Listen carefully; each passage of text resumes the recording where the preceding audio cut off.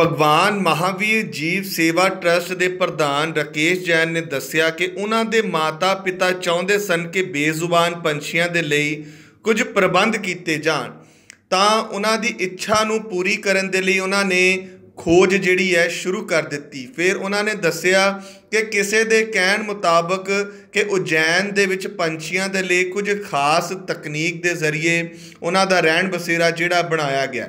ਫਿਰ ਕੀ ਸੀ? ਰਾਕੇਸ਼ ਜੈਨ ਜਿਹੜੇ ਨੇ ਉਜੈਨ ਵੱਲ ਨੂੰ ਚੱਲ ਪਏ, ਜਿੱਥੇ ਉਹਨਾਂ ਨੇ ਪੰਛੀਆਂ ਦੀ ਸੇਵਾ ਦੇ ਲਈ ਜਾਣਕਾਰੀ ਇਕੱਠੀ ਕੀਤੀ। ਉੱਥੇ ਜਾ ਕੇ ਉਹਨਾਂ ਨੂੰ ਪਤਾ ਲੱਗਿਆ ਕਿ ਜਿਨ੍ਹਾਂ ਕਾਰੀਗਰਾਂ ਨੇ ਇਹ ਸਾਰਾ ਰਹਿਣ ਬਸੇਰਾ ਬਣਾਇਆ ਹੋਇਆ ਉਹ ਰਾਜਸਥਾਨ ਤੋਂ ਮੰਗਵਾਏ ਗਏ ਸਨ।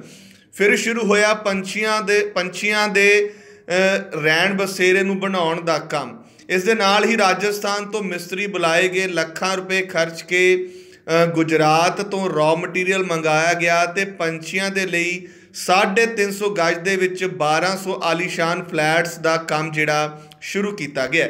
ਕੰਮ ਹਲੇ ਵੀ ਚੱਲ ਰਿਹਾ ਹੈ। ਇਹ ਬਿਲਡਿੰਗ ਲਗਭਗ 6 ਮਹੀਨੇ ਦੇ ਵਿੱਚ ਪੂਰੀ ਤਰ੍ਹਾਂ ਤਿਆਰ ਹੋ ਜਾਵੇਗੀ, ਜਿੱਥੇ ਪੰਛੀਆਂ ਦਾ ਰਹਿਣ ਬਸੇਰਾ ਬਣਾਇਆ ਗਿਆ ਹੈ।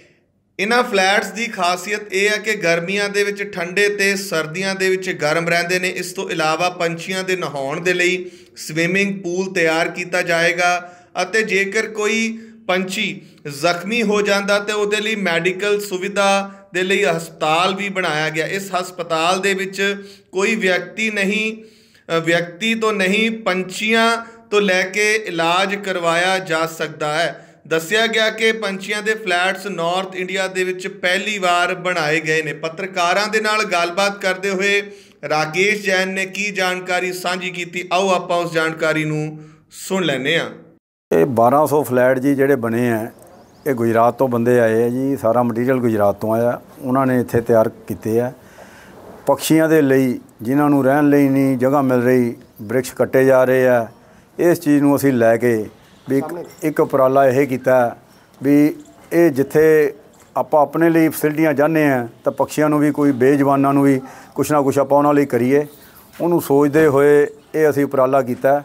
ਭਗਵਾਨ ਮਹਾਵੀਰ ਜੀਵ ਸੇਵਾ ਟਰਸਟ, ਉਹਦੇ ਅੰਦਰਗਤ ਇਹਦੇ ਇੱਥੇ ਇੱਕ ਅਸੀਂ ਹਸਪੀਟਲ ਵੀ ਬਣਾ ਰਹੇ ਹਾਂ, ਜਿਹਦੇ ਵਿੱਚ ਪਕਸ਼ੀਆਂ ਦਾ ਇਲਾਜ ਹੋਊ, ਘਾਇਲ ਹੋਣ, ਬਿਮਾਰ ਹੋਣ, ਸਾਰੇ ਸ਼ਹਿਰ ਦੇ ਪਕਸ਼ੀਆਂ ਦਾ ਇਲਾਜ ਹੋਊਗਾ। ਦਾਣਾ ਪਾਣੀ ਦਾ ਉਹਨਾਂ ਦਾ ਪੂਰਾ ਹਰ ਤਰ੍ਹਾਂ ਦਾ ਇੰਤਜ਼ਾਮ ਇੱਥੇ ਹੋਊਗਾ।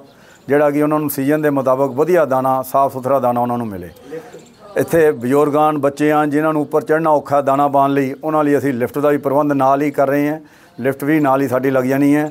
ਉਹਨਾਂ ਨੂੰ ਦਾਣਾ ਉੱਪਰ ਪਾਉਣ ਲਈ, ਆਪਣੇ ਹੱਥਾਂ ਦੇ ਨਾਲ ਪਾਉਣ ਲਈ ਉਹਨਾਂ ਨੂੰ ਇਹ ਪੂਰਾ ਸੁਵਿਧਾ ਦਿੱਤੀ ਜਾਊਗੀ। ਤੇ ਹੋਰ ਵੀ ਅਸੀਂ ਇਹਨੂੰ ਅੱਗੇ ਦੀ ਚੇਂਜ ਚਲਾਣੀ ਹੈ।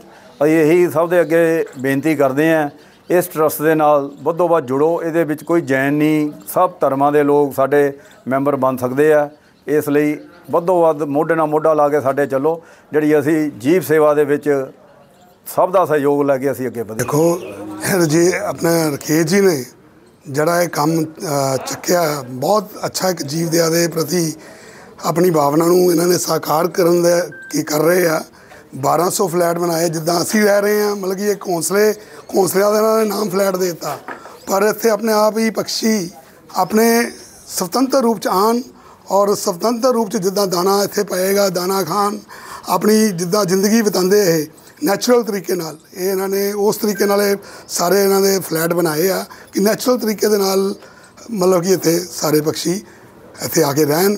ਔਰ ਜਿਹੜਾ ਇੱਕ ਸੰਸਥਾ ਮਤਲਬ ਕਿ ਭਗਵਾਨ ਮਹਾਵੀਰ स्वामी दास जियो और जीने दो। और जीव मात्रा के लिए, सबकी सेवा के लिए जो ये इन्होंने कार्य किया है, मैं तो अनुमोदना करता हूँ राकेश जी की भी, इनकी टीम की भी, और मैं सभी से हाथ जोड़ के विनती करूँगा कि जन जन इससे जुड़े। Bureau report, Ludhiana Times.